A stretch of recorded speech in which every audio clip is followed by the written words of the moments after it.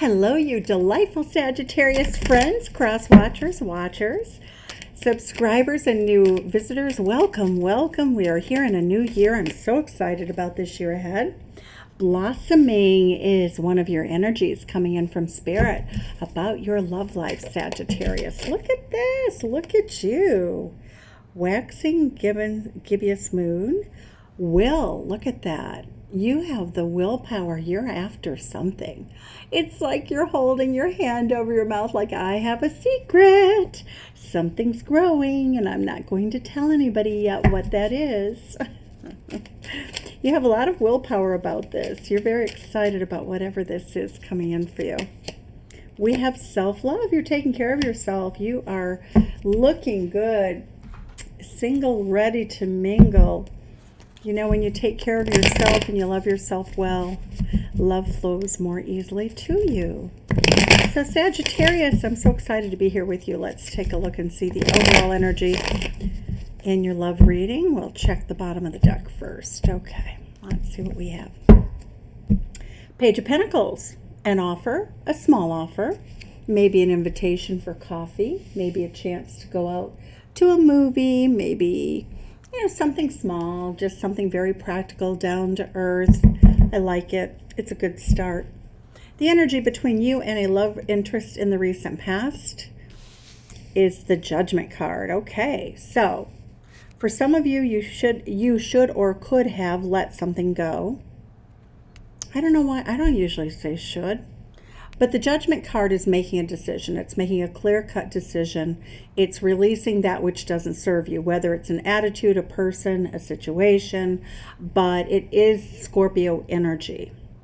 So it does speak to the fact that both of you made a decision in the recent past about the relationship. Oh, nice. the current mutual energy is to let go of singlehood and to move into a, mere, a new blossoming relationship in which both of you have a lot of goodwill towards each other and you both are in a good emotional space in your life with that self love card. How does your person view the situation with you? The Three of Swords, they view this as a heartbreaking situation. Oh boy. We're going to clarify everything. How do they view you? Ah, Sagittarius, your person doesn't think you're all that interested. I'm getting you in the energy. Your person views you as well. This will come to fruition when pigs fly. So we have to default now. Some of you may be getting a judgment of divorce. This is marriage. This is divorce. There could be third party situation. It could just be heartbreak. Uh, but we get your person views you as someone who is non-committal because that's like when pigs fly. How does your person feel in their heart space? Nine of Cups, they adore you. They love you. They want to hug you and pet you and kiss you. They want to make love with you. They want to introduce you to all their friends. How do they view the situation between the two of you going forward? Ooh, Ten of Cups, they see you as their happily ever after. Pisces energy. Pisces, Pisces, Pisces. Three of Swords is Libra energy. So what I'm getting here is a very big possibility that, that there may be movement of breaking a one marriage apart to get married to someone else. You know, it's very it's several different storylines that I see already in the reading. So take what's yours and leave the rest like the buffet table. All right. What's hidden in the energy between the two of you? Hot, hot, hot, tiki torches, starry nights, adventure, Sagittarius energy, excuse me, Aries energy, uh, really speaks to the fact that both of you love how you feel together, that that you've chosen each other as the person you want to be with.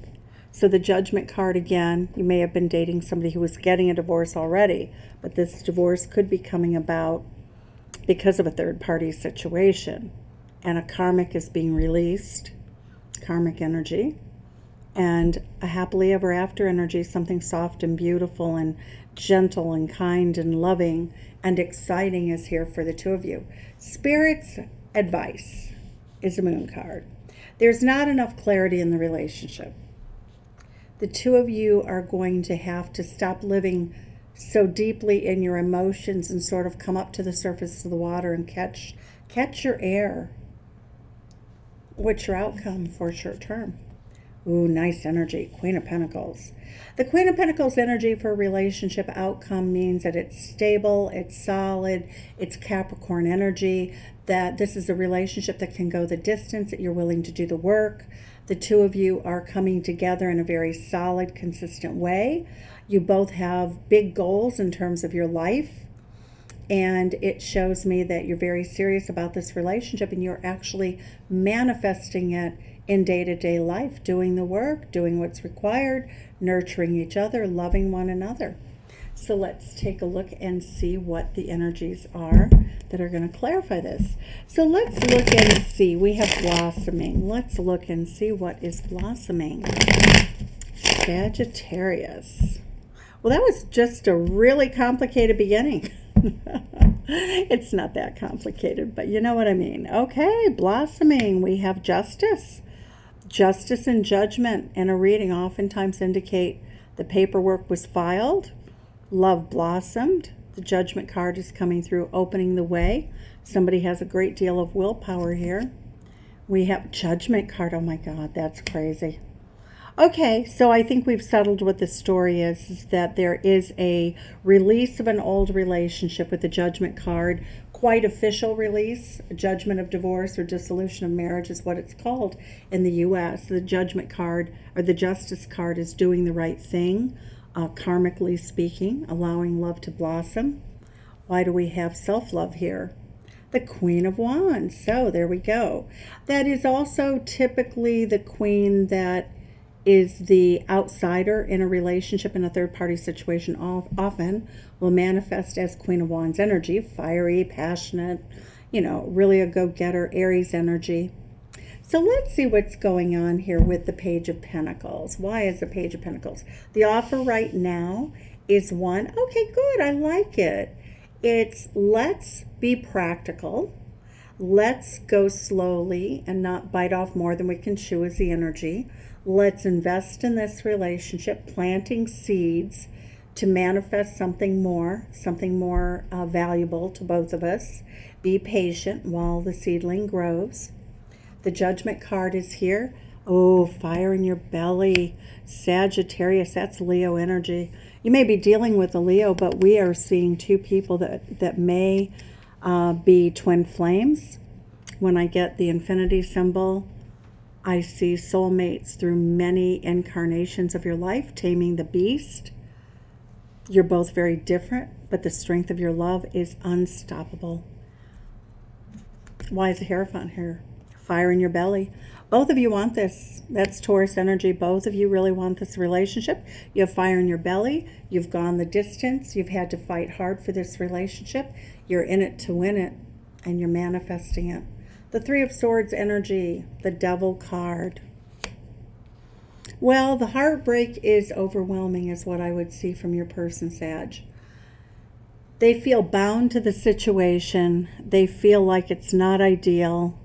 Your person views the situation right now as being tethered to you in a way that they don't necessarily feel is healthy. Seven of Cups, they fantasize about you. Nine of Swords, they have remorse and regret over something they said or did. Eight of Wands, moving forward rapidly. I can read this two ways because there are two storylines. There's one situation in which you've gone through with the process of getting a divorce. There's another situation or a group out there that feels as though that's not going to happen and that there is not any moving forward for them. They have remorse and regret because they feel, for, for some of you, the storyline is not going to be this happily ever after ending.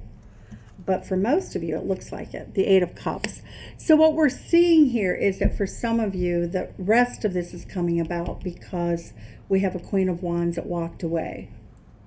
Somebody who said, you know what, I don't want to be in the middle of heartbreak. I want happiness. I want to go from my Eight of Cups to my Nine of Cups and then to my Ten of Cups. So it does look like there is a walk away scenario here going on currently or that will go on. It's nothing really harsh. It's just saying, I want to be happy. It really is all about just wanting to be happy, wanting to nourish your spirit with self love. Why is the Page of Swords, or Page of Cups here? I'm sorry. The Page of Cups is clarified by the Ace of Coins. So, what we see is that your person feels as though you've made an offer. The Ace of Coins is a good offer. It can even be a ring, it can be a promise, but you have made an offer, Sagittarius. And your person sees it as one that is very worthy of their attention. When pigs fly is what they originally thought. They didn't expect to get this offer from you. What else do we have? The King of Wands, Sag. Oh, goodness, the King and Queen of Wands. We have a divine partnership here. Let's look and see why we have the Nine of Cups, why your person walked away to their happiness. Ace of Wands. They this you're dealing with somebody who may be a fire sign, but you're definitely dealing with someone who knows exactly what they need and want. They're willing to fight for it. They're willing to do the work for it. And we see a person who is not going to be they're, they're brokenhearted. They would never do anything to hurt you, Sag, but they also know that they have to be happy for themselves. So the Ten of Cups, Hierophant energy, okay. So we had the Hierophant here, okay. Hierophant's appeared twice. So Hierophant energy is very traditional energy. It's the energy of having maybe some religious beliefs or beliefs that, you know, really impact the relationship. It looks as though you share those beliefs, though. That's what I'm getting. The Ten of Cups means the two of you couldn't be happier together, that when you are together, that there's laughter, there's kindness, there's love, there's tradition, there's a sense of groundedness. When we get Taurus energy with Capricorn energy, very ter- it's terrific for making something work. It's being willing to do the work but you're very happy together. Why are you so happy together? the chariot card. Oh, somebody's coming in fast here to make an offer, Sag. I think that your person could be the one to make the offer, but on the other hand, you might make an offer to them because you're in this energy over here. Why do we have the Three of Wands? Why are you choosing one another? Because that's what the card means. Page of Pentacles, nobody better. You may have known each other for a long time. You may have known each other through work, and it looks like you have a history together. Tell us more about the Page of Coins. Page of Cups. Page of Cups was here too. You're the Page of Cups. You might know each other from childhood with those pages, or you might also each have children from another marriage. So that looks like it's a very, very important part of what is going on in choosing each other. Pages so often show up in readings as children, especially when I get Judgment and Justice card. Why do we have the Moon card here for you? We have the Three of Swords again. So Spirit is telling you that this is you know, the warning here is to clarify things so you don't suffer heartache. So come clean with your emotions, handle your emotions, be honest, do what you need to do to take care of yourself to show self-love. Ten of coins, okay. So Spirit is saying that don't get caught in your emotions. Be very practical. Don't just lounge around with a broken heart. Take action, go for your dreams, make yourself happy, and Sagittarius, you want this absolutely legacy relationship. So you should honor that wish and take actions. Don't sort of get lost in your feelings. Why is the Queen of Pentacles here? Look at that. Winner, winner, chicken dinner. That is Leo energy. Again, we've had a lot of Leo energy in the reading. So it really speaks to the fact that this love is not going anywhere. I don't think you can really let each other go very easily. That's why I feel like the Judgment and Justice card are here. Three of Cups, celebrating life together. When we get the Ace of Coins and the Three of Cups, we had a clarifier here, I believe. Yep, one of the clarifiers here says that Sagittarius, your person wants a ring.